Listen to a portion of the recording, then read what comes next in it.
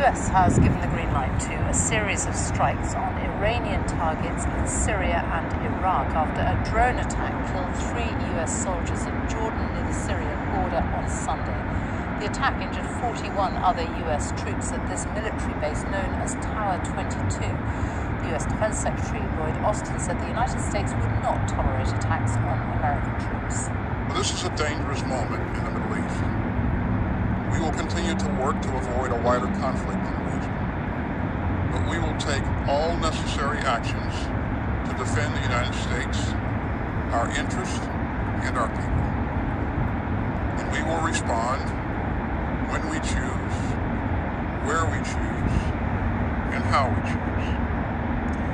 Our North America editor Sarah Smith joins us now. And what more do we know about that response? Well, we know that plans have been approved for a series of strikes over a number of days, so this action will take a while, uh, targeting Iranian personnel and facilities, but not inside Iran, in Iraq and in Syria. That's where the uh, Iranian backed militia who've been attacking US forces have been operating from. That's where uh, they were operating from when they killed three US soldiers at the weekend. And that distinction is very, very important because if America was actually to strike targets inside Iran itself, that would risk dangerously escalating tensions in the region. And this is the, the really delicate balance America is trying to come up with. They need decisive retaliation that is dramatic enough, they hope, to deter further attacks on their forces. But at the same time, they don't want to do anything that could cause the conflict to spread. That's the very thing they've been trying to avoid. Sarah, in another development, we've learned tonight that President Biden is taking action against a number of Israeli settlers who've been accused of attacking Palestinians in the occupied West Bank. Yeah, this is really unusual. He signed an executive order, so that means the president can do this all by himself to impose sanctions on just four, for now, um, Israeli settlers. There has been an, an, uptick in violence, some of it deadly, uh, against Palestinians in the West Bank. America has been growing increasingly frustrated by that, so they are applying now the same sanctions against some Israeli settlers that they apply to terrorist organizations. And that has clearly infuriated the Israeli government who say they're the ones who will take action against lawbreakers in their country and that these unusual measures are completely unnecessary. And I think this gives us a glimpse of uh, something wider and important going on, and that is America and President Biden himself's frustrations with the Israeli government. Because They're having constant conversations, not just about this, but about the conduct of the war in Gaza. They're having disagreements, and they feel that Benjamin Netanyahu, the Israeli Prime Minister, is not listening to them and not doing what they ask. And this, I think, just shows us a rare sight in public of what is an increasing rift between America and Israel. Shalom. That was a BBC report talking about uh, dangerous moment as it prepares to strike Iranian uh, targets, and also another one here. U.S. approves a plan to strike Iranian targets in Syria, well, Iraq. concluding a very lengthy news conference talking about it being a day. Prepares to strike Syria and Iraq.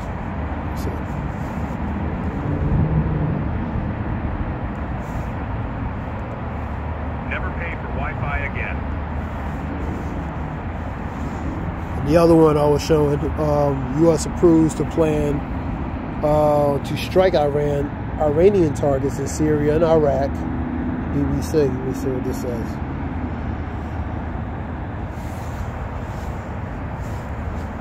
See what this one is. This is a seven-minute one. U.S. has approved the plans for a series of strikes on Iranian targets in Syria and Iraq. Officials have told the BBC U.S. partners the strike would uh, CBS News, U.S. partners. The strike would take place over a number of days, officially officials said, and weather conditions will likely dictate when they are launched. Um, it comes after the drone attack uh, killed um, three U.S. soldiers in Jordan near Syria border on Sunday. The U.S. has blamed Iranian-backed militant groups for the attack. Islam resistance in Iraq, which is believed to contain, contain multiple militias that have been armed, funded, and trained by Iran's Revolutionary uh, Guard Force, which would be the R, the IRGF, has said it was responsible for the strike. And the other one, which I was reading, is um, The US has given. Video we were looking at is um, U.S. has approved plans to seriously strike Iranian targets, Syria and Iraq, expected to target Iranian-backed militant groups in their facilities, and it said it must retaliate following a drone attack with uh, which uh, deleted three U.S. Um, troops near Jordan, near the Syrian border, and wounded dozens, I believe, uh, dozens, like over 40 or plus plus. Um, and U.S. Secretary Lloyd Austin said it was a dangerous moment in the middle in the Middle East in the United States.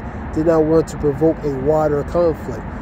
So they want to do a precisive, pretty much an effective form of retaliation without escalating a more broader and wider um, uh, spread relating to this war, to this uh, potential war, man. Uh, let me say. The U.S. Uh, Defense Secretary Lloyd said it was a dangerous moment in the Middle East and the United States did not want to provoke a wider conflict. However, however, he said that the U.S. must act and protect its forces in American interests, man. The U.S. has announced sanctions against some of the Israeli settlers in the West Bank accused of violence um, against the Palestinians and uh, Sophia, I mean Sophie uh, Raworth, Raworth, President BBC at 10, reporting by Sarah Smith in Washington. So the plan that's relating to the, uh, the retaliations because of what happened in um, relating to those um, three U.S. Um, soldiers that were um, that were deleted or killed and dozens were wounded. So they pretend they they they're going to um, plan to do some kind of uh, retaliation, and of course, uh, certain conditions. Uh, under certain conditions, of course, you know that's to their favor to be able to uh, fully implement what they're trying to do.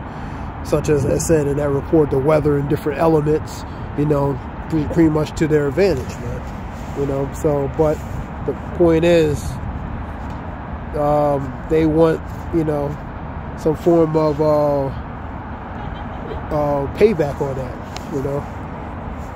Um, so U.S. airstrikes, that was BBC report. Um, you're going to have, let me see, go to Matthews 24. It's going to be a regular lesson. Matthews 24. Go to 6. Let's get an NIV, which is the new new international version. Let's see what that says.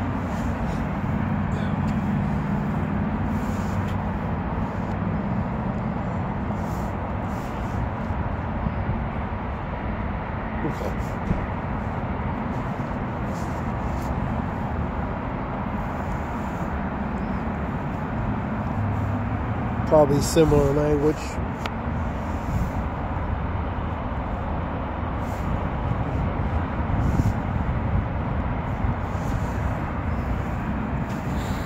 Twenty-four and six. You will hear of wars and rumors of wars, but see to it that you are not alarmed, not not not alarmed, marvel, or dismayed. Such things must happen but the end is still the end is still to come. So it's a lot more to come, man. Nation will rise against nation. That's what you're seeing. Kingdom against kingdom. That's what you're seeing. And there will be famines. That's what you're seeing. Famines, earthquakes in various, which goes to different places. All these diverse places. All these are the beginnings of, of the birth pains, which are sorrows, man. The lamenting and mourning relating to the birth pains, man like the pregnancy of a woman, man. So you're going to see famines, you're going to see earthquakes in various respected areas all over the world. Famines, shortages, victual supply shortages, and different things. You're going to see nation against nation. You're going to see kingdom against kingdom. That's what you're seeing. These major countries that you're seeing fighting against one another, man. You're also going to hear wars and rumors of wars, man. You know, you're going to actually see wars. Russia, Ukraine. Now you got um, U.S. possibly with um, Iranian, Syria, Lebanon, that area there. Uh, U.S. with Iran possibly. Uh, Israel with um, um uh, Hamas and um, continuation tensions with Israel, Iran. You know what I mean? U.S., Iran. You know, so all these nations, man, major nations, uh, key nations, you're going to see they're, they're going to uh, rise up against one another, nation against nation, kingdom against kingdom. You know what I mean? So you're going to see, hear the rumors of gossip of war, and also actual. You're going to see wars, man. You're going to see collateral damage. You're going to see um, um, um, um, uh, war casualties, man. That's what you're seeing, man. You're hearing it and you're seeing it. Um, let's go to um, go to three. And these nations are going to participate relating to um, World War Three, man. Go to 11 and 14 talks about the second war has come. The second war has come.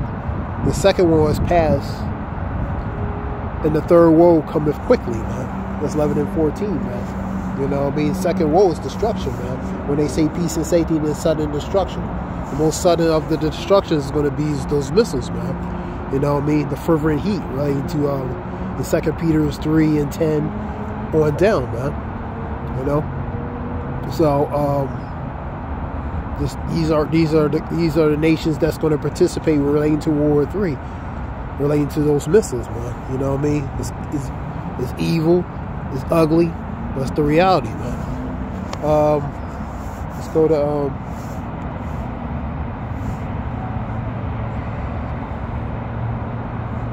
Joel 3.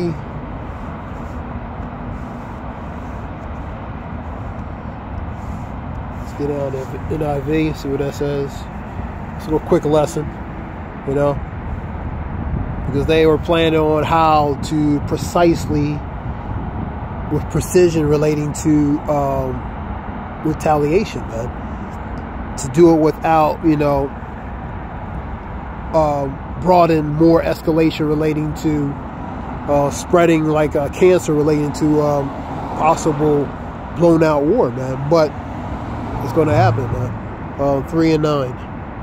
Proclaim, which goes in now, this among the nations. Prepare war, prepare war.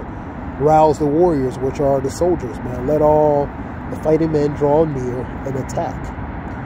Beat your plowshares into swords and your pruning hooks into spears.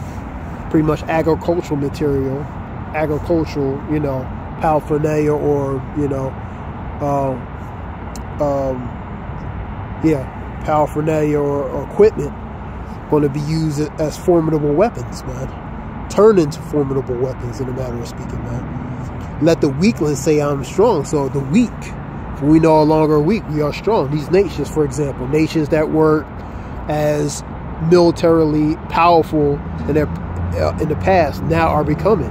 Now all nations, even the smaller nations, are becoming potentially, you know, me armed and geared up potentially for war, man. So let the weak say, I am strong. Come quickly, all the nations from every side, and assemble there in the land of Yahweh Shapat, Amaganwan, army of troops, mountain of troops, man. Sometimes mountains represents governments as well. So these troops, man, and they all assembling themselves together for war, man.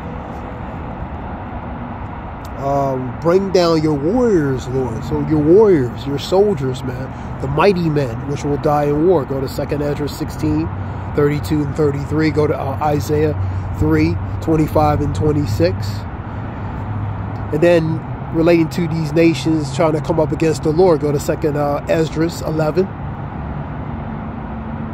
The man, the vision of the eagle man, the man from the sea, Yahushai. Then you have uh, 13, you know what I mean? So, uh, Second Esdras 11, Second Esdras 13. You have uh, Revelations 12 and 7. Talk about um, the um, The beast is angels, which relates to the military. The angels represents the military of the um, uh, the red dragon. Red dragon will be Edom, one who take peace from the earth. Go to Revelation six and four. So the red dragon and their angels representation relating to their military jets and their military might, the hammer of the earth, man, that tool instrument of cruelty. Through their what? The military, man. That's their that's the that's their might. That's the that's the that's the that's the hammer. You know what I mean? That's the hammer of the earth, man. You know what I mean? So their military planes and different things will represent them angels versus the Lord and his angels, man, which will be the armada. Armada, which means pretty much a, a fleet of uh, chariots, you know, chariots which they will call UFOs, man. You know what I mean? Or, you know, other names would be chariots, car, you know what I mean, motor ve- um, motorized spiritual vehicles, man. Motorized spiritual vehicle, MSV, because that's what they are, man. Armada, fleet of those motorized spiritual vehicles, man. You know what I mean? AKA UAPs, AKA UFOs, AKA um, chariots or Mariaka, you know what I mean, for chariot or car, vehicle, man. Spiritual vehicles. So that's what that is. Go to um, Zechariah 5 1 through um, uh, 4, talking about that. You know, that flying roll, which he was, uh, Zechariah was describing, he was calling it. That's what, how he looked at it. He, he called it as he when he when he seen he called the flying roll. That's how when he, through the vision he seen that. But that flying roll relates to the um, um, the chariot, man, the chariots. Um, so five one through four, the curse that's going to come over the face of the whole earth. That curse is going to be a curse here upon relating to the judgment. You know, I mean, part of that judgment is through the chariots, man. That's what that goes to. Um, so.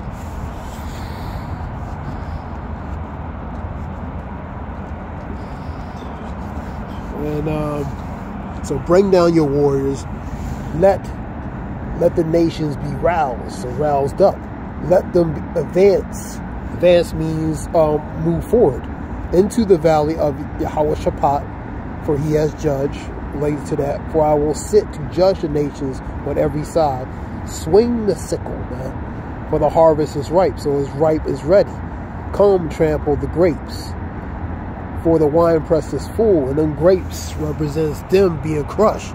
And out of the grapes, that wine represents that blood being pressed through the uh, wine press, man. And the vats overflow, fats overflow, pretty much being squeezed.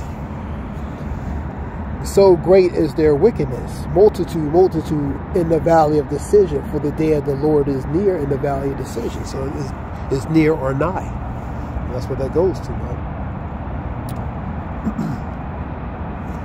now that was Joel 3 through 9. Um,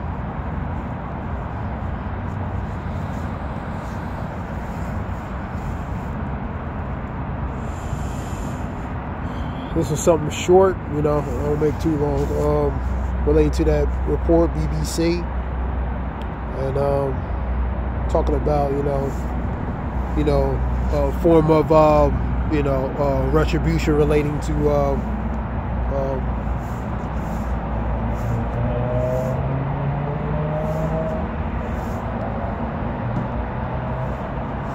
relating to, um, let's see, something.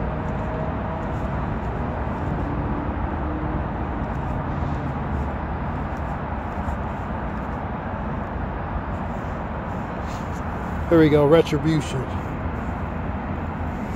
punishment inflicted on someone as vengeance for a wrong or a criminal act. And that's what America wants to do. They want retribution. They want payback, man. For what was wrongfully done. Punishment inflicted on someone as vengeance, man. For the wrong and criminal act.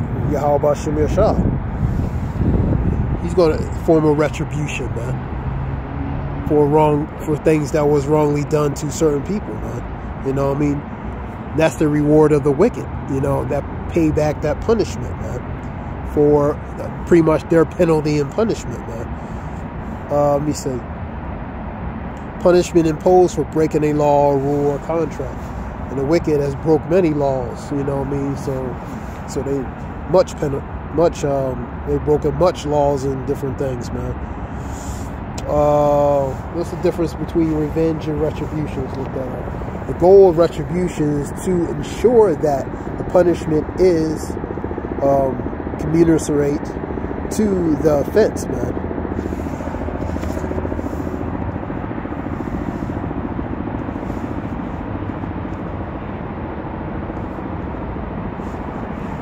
Up that word for a minute.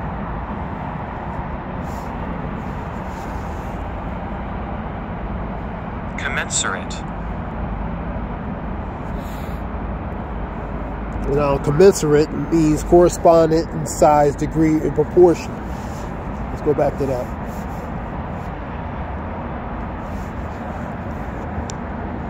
The difference between revenge and retribution. The goal of the retribution, goal of retribution is to ensure that the punishment is commensurate to the offense, so it's equally proportionate and appropriate. Any and in line with the expectations of society, while revenge is a form of retaliation that is emotionally driven and seek to inflict personal punishment without regard for what is appropriate. So sometimes, for example, re- revenge, they so they so ensue with relate with um, emotionally you know what I mean? And that sometimes that logic gets removed out of that part of that revenge.